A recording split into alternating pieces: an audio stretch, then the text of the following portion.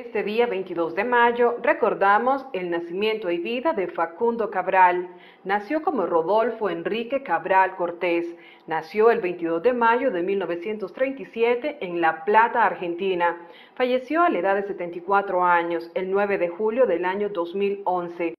Rodolfo Enrique Cabral Camiñas nació en La Plata, Buenos Aires, el 22 de mayo de 1937. Falleció en Ciudad de Guatemala el 9 de julio del año 2011. De nombre artístico, Indio Gasparino, en sus comienzos y luego Facundo Cabral.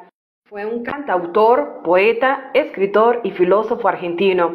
Su propuesta artística resulta difícil de encasillar, aunque compuso canciones y algunas de estas trascendieron a nivel hispanoamericano, como No soy de aquí ni soy de allá. Su obra también consistía en contar historias con una estética que entremezclaba la crítica social sátira, misticismo, cristianismo, anarquismo, optimismo, hedonismo y libertad. Entre ellas citaba constantemente a Jesús, a Tahualpa, Yupanqui, a Krishnamurti, a Borges, Whitman y Teresa de Calcuta, entre otros.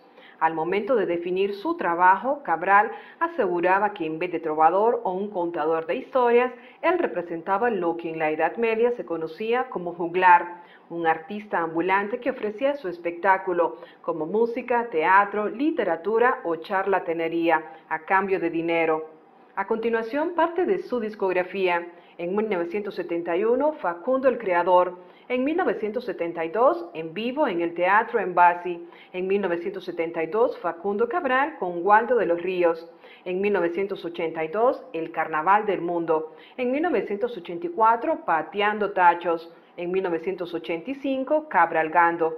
En 1986, Entre Dios y el Diablo. En 1987, Secreto. En 1994, Recuerdos de Oro. En 1998, Época de Oro. En el año 2004, Personalidad. En el año 2008, Antología 1 y Antología 2. En el año 2009, Los Elegidos. En el año 2010, El Trovador. Y en el año 2010, Bicentenario. Fue parte de la vida e historia de Rodolfo Enrique Cabral Cortés, más conocido como Facundo Cabral, en el aniversario de su nacimiento, este día 22 de mayo.